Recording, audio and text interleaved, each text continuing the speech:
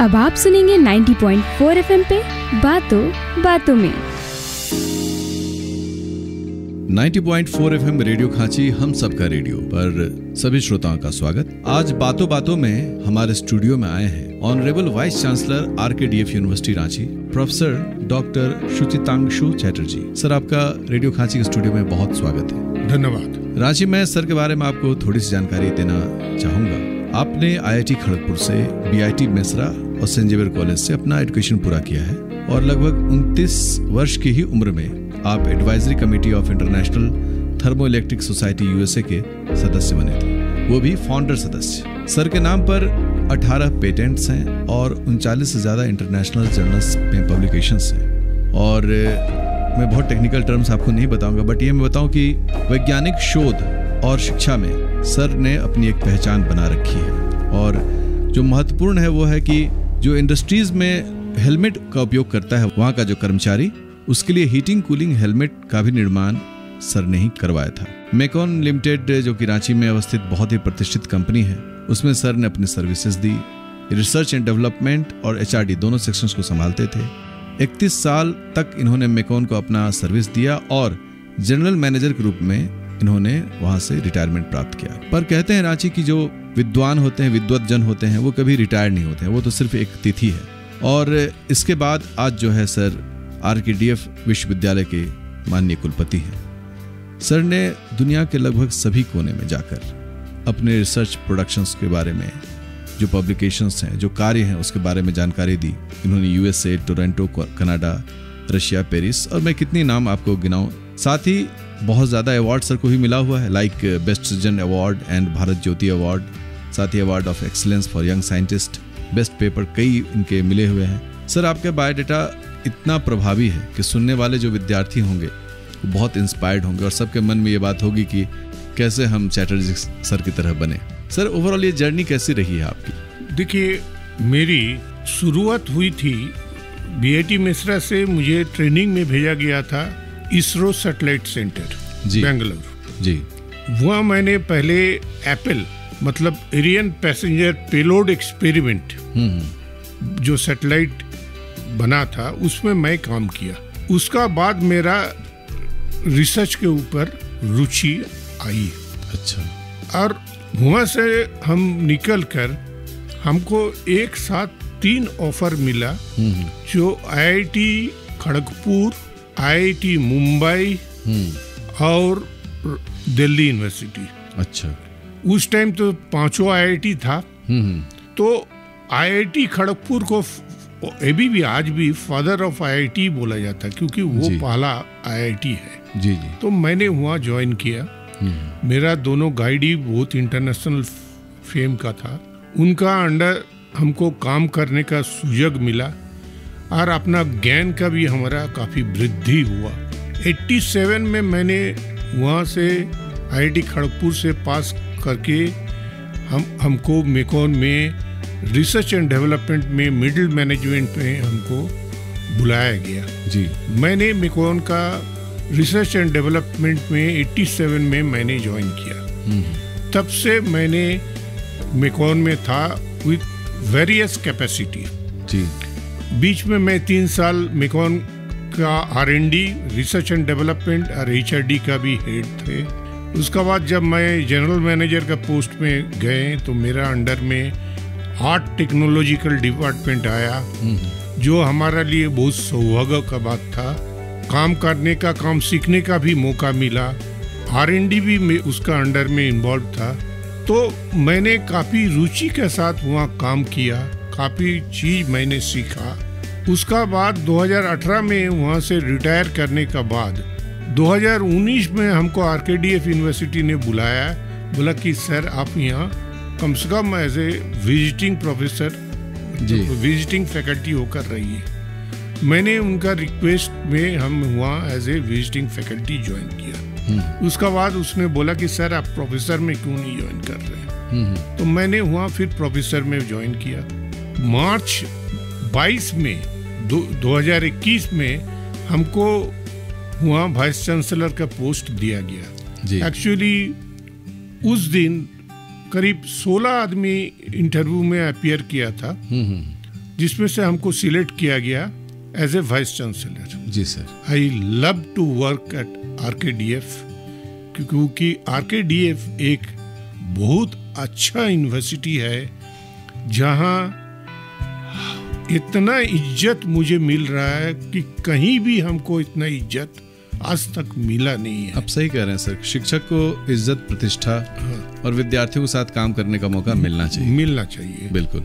हाँ तो मैं अपना स्टूडेंट का साथ भी स्टूडेंट को नाम से नहीं बुलाता हूँ अपना फैकल्टी को नाम से नहीं बुलाता हूँ मैं सबको बेटा बोलकर ही संबोधित करता हूँ। जी जी ये गुरुकुल परंपराओं की बात हो गई।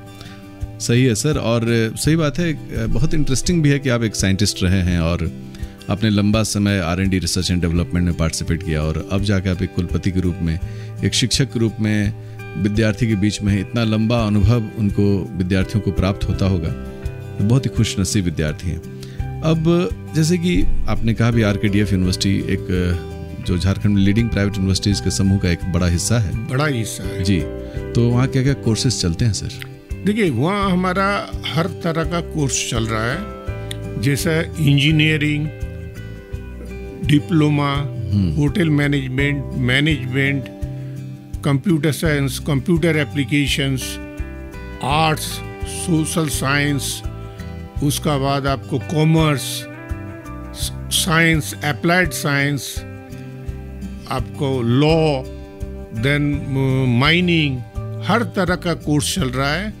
हम लोग ये भी मेडिकल का कोर्स शुरू किया नहीं बट बहुत जल्दी उस कोर्स भी शुरू करूँगा। क्योंकि लास्ट मीटिंग में गवर्नर साहब ने जो हमको एडवाइस दिया था जी। मेरा वो एडवाइस बहुत अच्छा लगा। हम्म। बोले थे गवर्नर साहब ने कि एक चीज़ आप देखिए कि जो पैथोलॉजी डिपार्टमेंट है उसमें जो टेक्नीशियन है हम्म हम्म। वो वो अपना नॉलेज उसका डॉक्टर से भी ज़्यादा है। मगर वो अपना इनकम नहीं कर पा रहा है क्योंकि उनका पास सर्टिफिकेट नहीं है। बिल्कुल। अपने ये शुरू कीजिए तो वो मेरा दिमाग में आया। उसीलिए मैंने भी मैनेजमेंट का बहुत सारे सर्टिफिकेट कोर्स शुरू किया हूँ। जिस दिन मेरा मेडिकल शुरू होगा उस दिन से मैं ये सब चीज़ भी मैं शुरू कर दूँगा।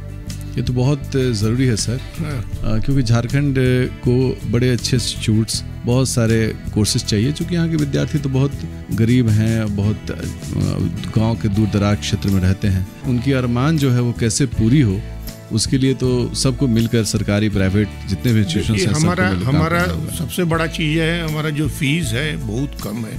जी। हमने झारखंड का इंटीरियर पार्ट से बच्चों को उठा कर लाता हूँ जिसको ठीक से बात नहीं करना आता है। हम्म हम्म और वो जब यहाँ से पास आउट करके जाता है तो एक समाज के प्रतिष्ठित आदमी के तरह जाता है। इस बार का मेरा जो प्लेसमेंट है जॉब प्लेसमेंट जी सर। करीब करीब हंड्रेड परसेंट है। तो बड़ी खुशी की बात सर बधाई सर। हाँ वो हंड्रेड परसेंट है। ये हमारा फैकल्टी हमारा स्टूडेंट का खुद का मेहनत का फल है। बिल्कुल। खुद का मेहनत का। और उनका देखिए उनका जो है उनको फ़ीस देने का भी पैसा नहीं है। हम्म तो मैंने बैंक का साथ टाई अप किया है। ये भी वो बैंक उसको फंडिंग करेगा। हम्म और वो जब नौकरी में जाएगा तब उसका इंटरेस्ट लगेगा। और वो तब उसको बैंक को रिफंड करेगा वो पैसा। ये तो बहुत अच्छी बात है हाँ? सर। और क्या मतलब जैसे गवर्नमेंट की जो योजनाएँ हैं स्कॉलरशिप की क्या वो भी लागू है आपके यहाँ? ये हमारे यहाँ काफ़ी लागू है। जैसा ई कल्याण है ट्राइबल्स वाला जितना भी है वो है। ये सब छोड़कर जो इन जनरल है वो सब छोड़कर मेरा एक चांसलर का स्कॉलरशिप है। अच्छा। मेरिट बेस्ड स्कॉलरशिप जैसा 50 टू 55 परसेंट को हम लोग झारखंड और बिहार के छात्रों को हम लोग सर्टन पोर्शन का स्कॉलरशिप देते हैं। Then 55 to 60 then 60 to 65 then 65 to 70 हाँ इसमें जो हाईएस्ट नंबर में जाता है उसको कोर्स भी ऑलमोस्ट आधा हो जाता है।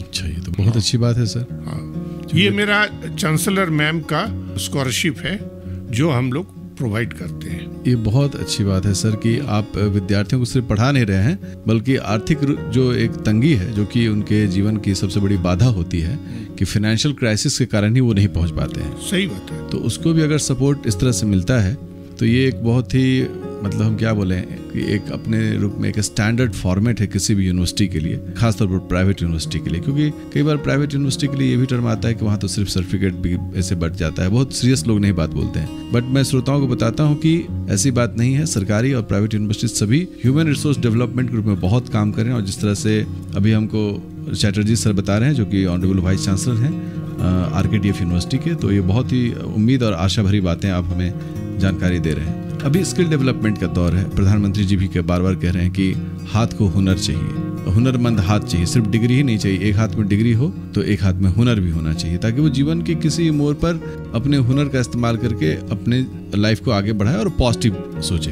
तो कुछ ऐसे स्किल बेस्ड आपके यहाँ हाँ, प्रोग्राम्स हाँ, ऐसा है। एक्चुअली हमने काफ़ी एमओयू ना reputed national university international university के साथ साइन किया हूँ बड़े बड़े कंपनी के साथ साइन किया हूँ। जो लोग हमारे बच्चे को ट्रेनिंग इंटर्नशिप और जॉब का प्लेसमेंट देता है। इसमें क्या हो रहा है कि ये लोग जो लोग ट्रेनिंग दे रहे हैं जो लोग ये कर रहे हैं ये भी मेरा फ्री ऑफ़ कॉस्ट है। अच्छा।